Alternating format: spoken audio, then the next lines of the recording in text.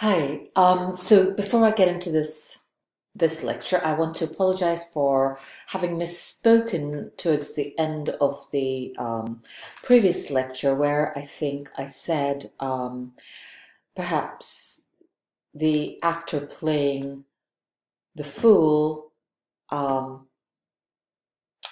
may also have been playing Cordelia, and that is a viable possibility. Um, but I think somewhere in that little blurb, I accidentally said Lear when I meant the fool. So to be clear, many of the arguments made for why the fool disappears in the middle of the play and of course Cordelia returns around the same time is that uh, are that um, the actor playing the fool also played Cordelia, so they both couldn't be on stage at the same time. So the fool is kind of dis dismissed. Um, in which case, the fool arguably is of similar age at least to Cordelia, otherwise it would be completely bizarre, right, on stage. Um, so in that case, did I just say Lear again? I mean, the guy playing, or the actor playing the fool um, and playing Cordelia would have had to have similar age on stage, right? Um, which suggests that the fool is pretty young. Uh, it's possible, right? Uh, and that would be quite radical, I think, to see a very young fool. Um, but it's also equally possible, if not more so, to consider that the fool is an older man, closer in years to Lear and Kent than to Cordelia. So that's something which I wanted to clarify. I probably have made it more confusing. I apologize um, if I have done so, but it was it is an interesting thing to consider the age of the fool. Just like one has to wonder how old is Feste. Feste seems old enough to have seen the world a few times over, right? Um, what about Bottom? What about Puck? The Fools have a very interesting uh, possibility in aging, right? They could be they could be younger than what their years let on. They could be older than what their years let on. Anyway, no more about that gap, although it's a very interesting one to consider if you are interested in, say, thinking about your final project, the guidelines of which will go up today and I'll talk about in class tomorrow in conjunction with your presentation. Um, more on that later. For now, let us think about the daughters. Uh, let's start with the bad daughters, if you will. Um, so, at the very end of Act 1, Scene 1, right, after Lear has had his meltdown, his first meltdown, has banished Kent, has it uh, banished Cordelia, has given her nothing, uh, has practically disowned her, and has revealed a sort of eccentricity, if not madness, right, uh, creeping into his being. Um, at the very end of that, after France and Cordelia have exited, um, this is Act 1, Scene 1, around, well, the very end of the scene. I'm not going to say the lines because, I mean, line numbers because um,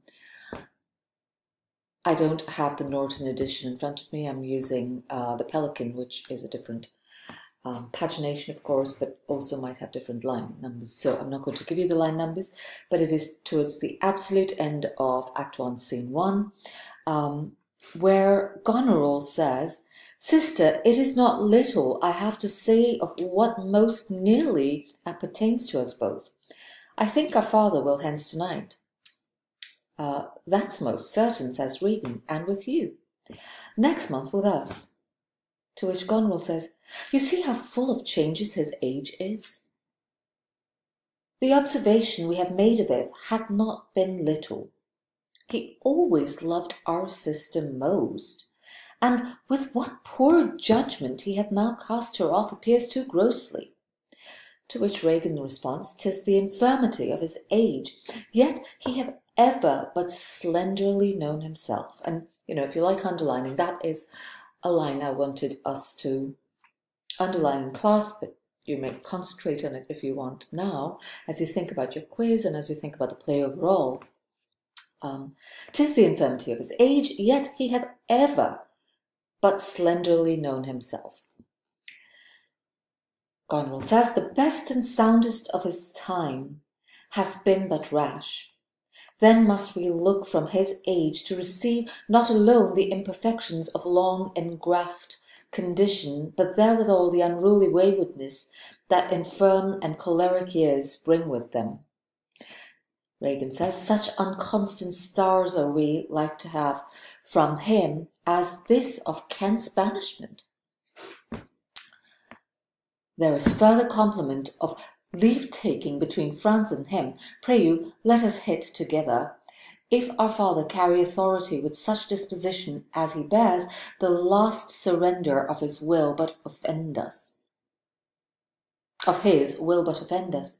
We shall further think on it. We must do something, and the heat, which means we better get on it, right? To act on act on what we confer, um, and conclude. This is a very important set of lines spoken by Goneril and Regan in private, right? We are privy to them. Uh, it's a dialogue, not monologue. Um, but they tell us something, and Regan's lines especially are interesting and important for us to consider. Um, her sister, her older sister Goneril, is still thinking, well, the guy's old and his age is really showing. He's catching up. Um, he's nuts. He loved Kent. He loved, oh my God, he loved Cordelia always. She was his pet, and look what happened, right? I mean, it doesn't make any sense. Um, and she refers to it as poor judgment. Even she, right? Um, greedy, if you want to call her that, uh, as she might have been, uh, to you know, pick up whatever her father throws her way, uh, even she recognizes how horrible of a mistake um, it is to disown Cordelia. Right? And in response to Goneril's proposition that this is all a symptom of his aging, feeble brain, Regan says, yeah, but he's always been like this, right? He's always been rash. He's always had poor judgment. He's always been careless or reckless. Um, think back to Hamlet Senior. Is this what we are?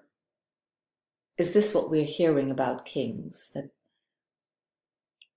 does the power get to their heads? Does does that make them crazy? Is it is it the fact that he has to be both parent and king uh, without any sort of filial um, or marital support. Is that what is happening? Um, where, you know, the burden of that dual weight uh, renders him mad? But Regan's point must not be forgotten. Like she is like any child who suffers abuse, uh, to think once historically or strategically, uh, ahistorically, to to think of any child that suffers abuse. Um, Regan and Goneril too um, are extremely alert to their father's emotions, to their father's moods, because his moods have direct effect on them, on their life, on their health, on their well-being. Um, so they are perhaps better readers of Lear than the others who surround him, Cordelia included, because Cordelia is the first to prompt his madness, right? To to kind of um, speak the truth to him um, in a manner that taunts him, right? And and he does think of it almost like a joke the very first time Cordelia says, I have nothing to say, right? She's like, nothing, my lord. And he's like, what? Um, right? He's got this, I can't believe this. She must be kidding, right? Um, and that, that moment, that exchange reveals that neither of them really is prepared for what the other is going to do. Um, that surprise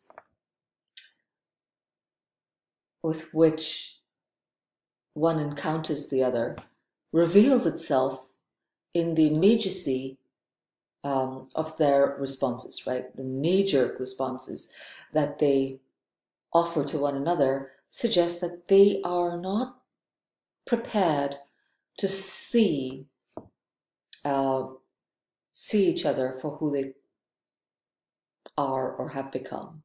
Whereas with Goneril and Regan, they have been in the peripheries, on the margins perhaps, of parental affection, um, and have, they seem to be in very regular habit of picking up the morsels after uh, Lear, right? Picking up the morsels even after Cordelia, because they jump to their performative, loving daughters mode immediately on demand in a way, and, and we and we discuss this in class in a way that Cordelia simply has never had to do, and therefore cannot do. Um, so Goneril and Regan are quintessential quintessential survivors of parental abuse, right? And like abused children, they recognize the direction in which their father's headed. That shit's gonna hit the fan like it has in the past, only now because he's older, because he's lost even the more basic elements of his sense. Um, his the shit that he's going to throw and hit that's going to hit the fan is going to be pretty radical. So let's act quickly. We let's talk about this quickly, right? So they are in absolute understanding of what Lear can do. Um, and I think that's very important for us to not only understand but also articulate, right? Uh, because when Goneril speaks of her dis- disappointment and her her impatience um, with Lear and his retinue, it's not coming out of nowhere. It's not that the power has suddenly gotten to her head.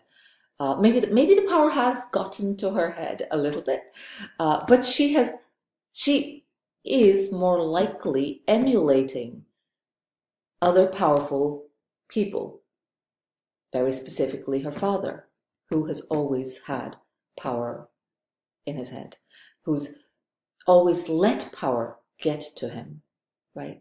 Which is why Regan's lines, he's always been rash. He's always been this way. We shouldn't be entirely surprised. It's just a little more of the same right? Um, or a little more extreme version of the same. Uh, that is important. If the daughters are rash, are cruel, are thoughtless or unkind, they have, if they have become power crazed, they have done so almost in the quiet tutelage, accidental tutelage of their father right?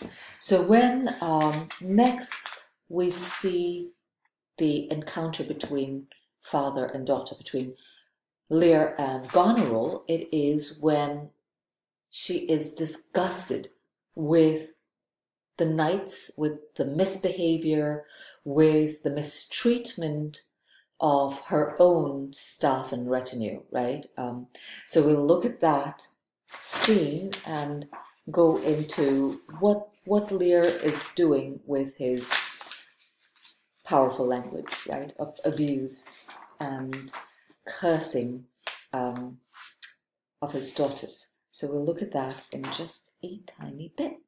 Okay,